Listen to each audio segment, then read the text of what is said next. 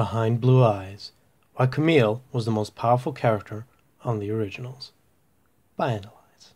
When dealing with a show where you regularly see 1,000 year old super vampires, apocalyptically powerful witches, and ancient culturally insensitive spirits battle it out, you would perhaps not immediately jump to the conclusion that a frail little blonde human is the most powerful person on it. Yet, being the lovable contrarian that I am, that is exactly what I am proposing. That oft overlooked blonde bombshell Camille O'Connell was, in fact, the most powerful person on the originals. So join me as I shift some paradigms, change some minds, and no doubt look damn good doing it. I mean, just look at my beautiful porcelain face. But before we start playing couch philosopher on the topic of power, we should perhaps define what the hell power even is. On the originals, and many other supernatural dramas, power often gets defined in the sense of physical or magical power.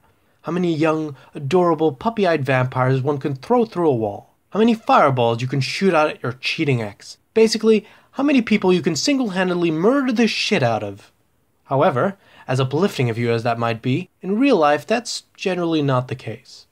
In real life, power tends to be just the slightest bit more subtle, less throwing fireballs through your hands, and more people must do as I say, for I am the mighty DMV lady. It's a little more elusive.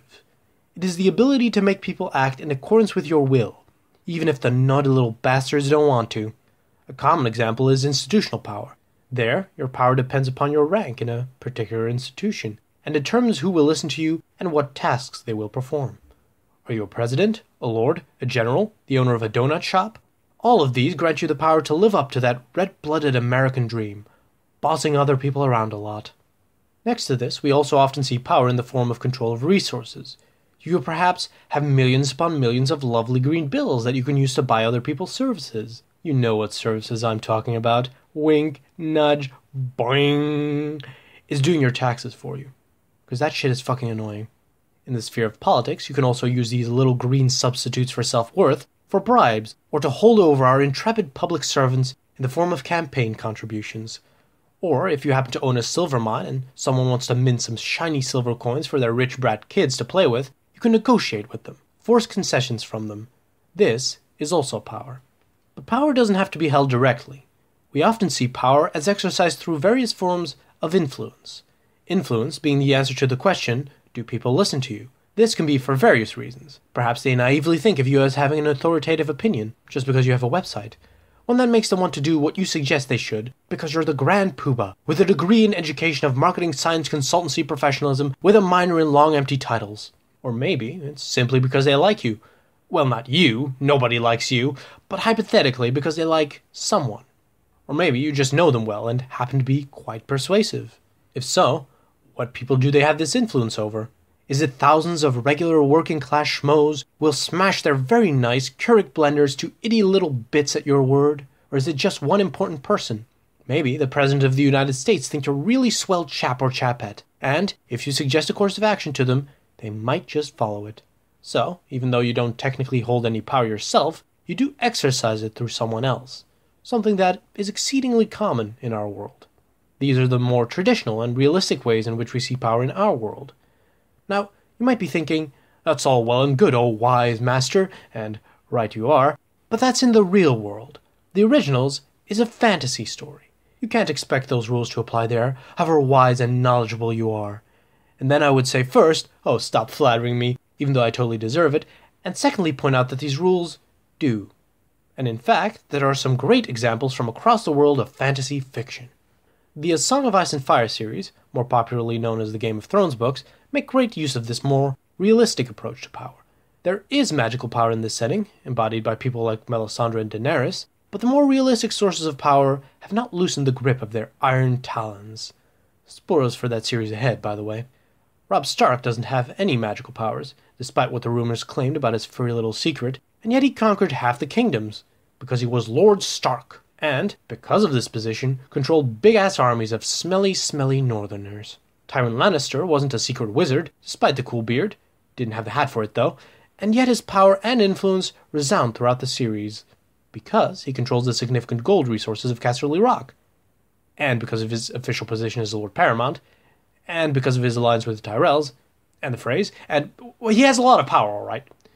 All of it leading to Robbie losing his pretty little head and nearly securing the throne for the Lannisters. That is before Cersei fucked it up.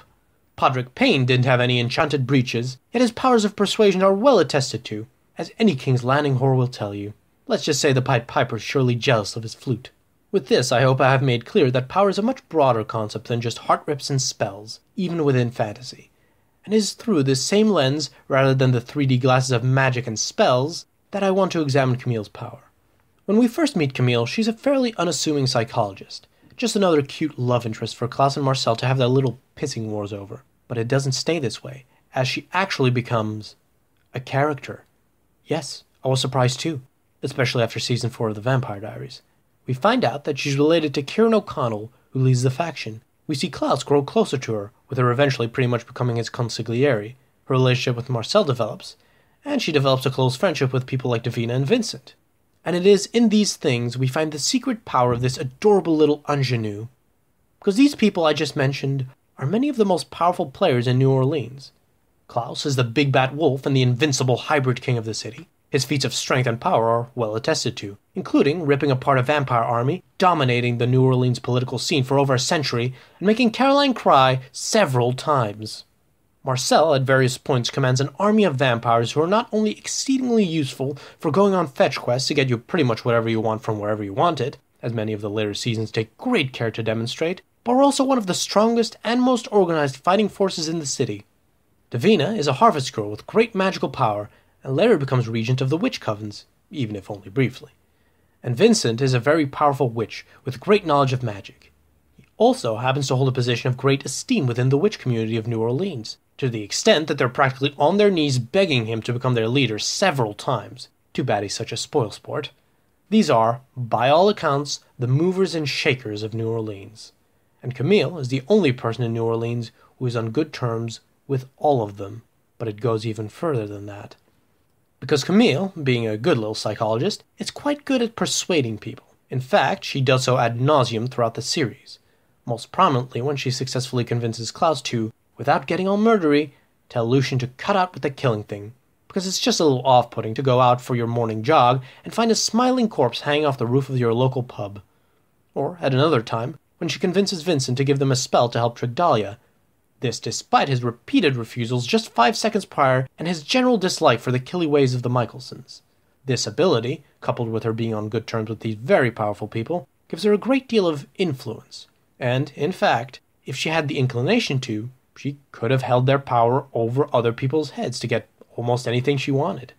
Just think about it. If almost anyone does something she doesn't like, or if she really wants something, look at who she has on that speed dial Klaus Mikaelson, Marcel Gerard, Davina Claire, and Vincent. I'm so done with magic, but shit, I'll just perform that one spell. And with her Tyrion level persuasion skills, she can persuade them to help her achieve whatever her goal is. Pity she's not the diabolical shake the city to its foundations type of gal because that would have been bloody entertaining. Oh, but lest you think the article is over, it doesn't end there. This little blonde snowflake has even more bang for her buck, as her name gives her even further power.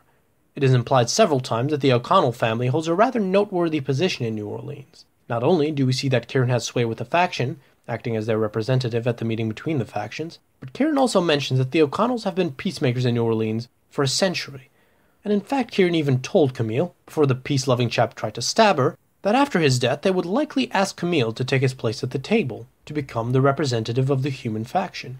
And if you've ever heard the names Kennedy or Bush, it should be clear to you how much a famous name can do for you.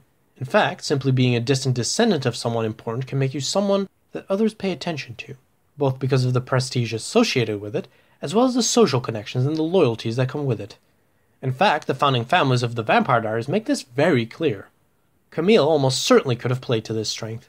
She had all she needed to re-establish the human faction, a faction comprised of the most powerful humans in New Orleans. And while humans aren't exactly the most powerful species, as my great idol said, quantity has a quality all of its own. And there are quite a lot of walking blood bags in New Orleans, with lots of big guns. Her being an O'Connell and essentially Kieran's heir carries even further implications, though, as she was also the one to inherit his storage unit. Alright, that sounds fairly mundane, I know. That is, until you realize what's in it. Yes, there's the flashy magical toys, dark objects that can make you bleed out of your anus or explode into a little ball of goo, and she could have used those quite effectively as weapons against her enemies or as bargaining chips in negotiation, some of that resource power we talked about earlier. But more importantly, she had the sexiest thing in the modern world information. Don't forget that it was Kieran's records that uncovered the true nature of the Guerreras. And information, as Littlefinger might have said before he got hit with a sack of dumb, is power. Imagine if she'd looked what other information she could have uncovered. Information that might have been over a century old, about all sorts of dark secrets, all sorts of valuable magical knowledge, valuable information itself, and also all wonderful opportunities for that most elevated of political pursuits, blackmail. Now you might say, because you're not that bright, Analyze, John. She's a piddly little human, though. You could just stabbity stab her to death. Which is true, but then again, the same could be said for Tywin Lannister and Robb Stark, and in fact, in both cases, this was demonstrated quite effectively. Yet while they were alive, they were powerhouses, and nobody would deny that. So while Camille's power is not the type that will turn cities to rubble with a single flick of her dainty wrist, nor the type that will rip out every heart in a room, she could accomplish all of this and more with a well placed word. And that's pretty impressive. If you want to be kept up to date on my exploits, follow us on at Analytic Madness on Twitter or like us on Facebook.